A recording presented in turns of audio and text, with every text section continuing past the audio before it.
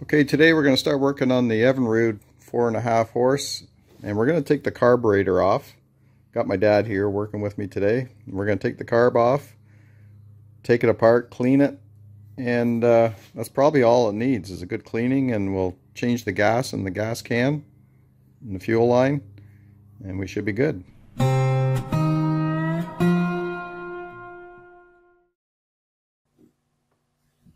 Okay, so what Dad is doing here is loosening the nuts for the carburetor. And I think I'm loosening off, there's a bracket that holds the something to do with the choke. I don't know what it's called, but that's what I'm undoing.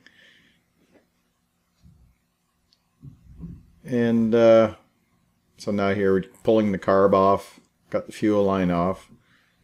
And Dad's starting to tear apart the carburetor here because we tore it all apart, sprayed some carb cleaner, and uh, cleaned that carb up really good.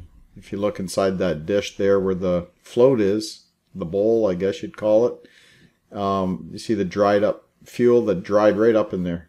Just turned into like a powder. It's disgusting. That definitely had to come out of there. So I cleaned that up. Spraying the carb cleaner in there into the jet cleaning everything up really good. Okay, what we had to do is remove the fuel line. It goes from the fuel pump to the carb. That thing was rotted right out. Piece of junk. So we got... Oh, yeah, yeah. Oh, look at that. We got some new stuff. Can't even bend it. No, hardened right up. Where's this hose? So we got ourselves a new hose we'll put on there. That'll eliminate that issue. Okay, we put a new fuel line on from the fuel pump to the carb. New clamps. That old fuel line was gone really brittle and hard. So we have that on now. We just put the carb back on and hook up the choke again. And then we'll give it a try.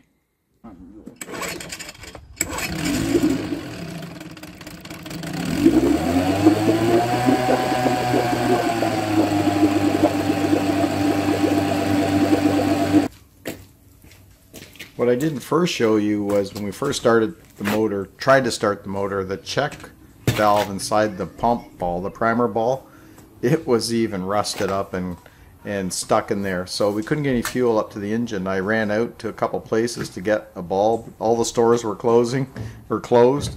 Uh, there's only one place open. It was the wrong size bulb, so I didn't get it. By the time I got home, Dad had that bulb, the check valve, freed up, and the primer bulb worked.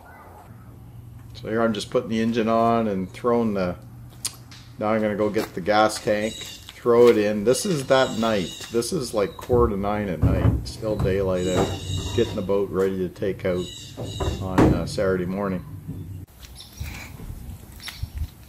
And this is Saturday morning now. So just loading up the boat, getting everything ready, waiting for Beth. She's my camera lady. And we're heading out to the lake.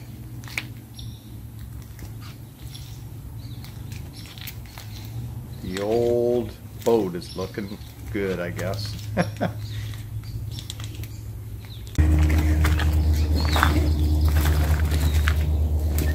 so here we are at the boat launch. Uh, this boat launch is only about six minutes from our house.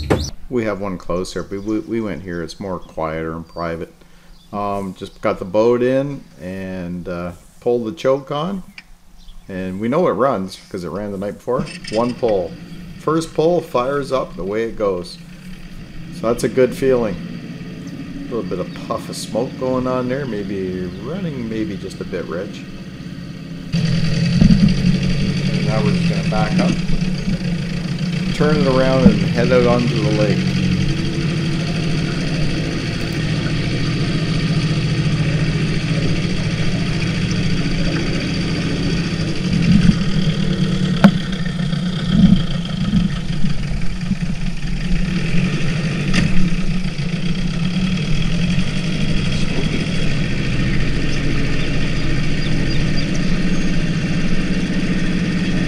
Leaks?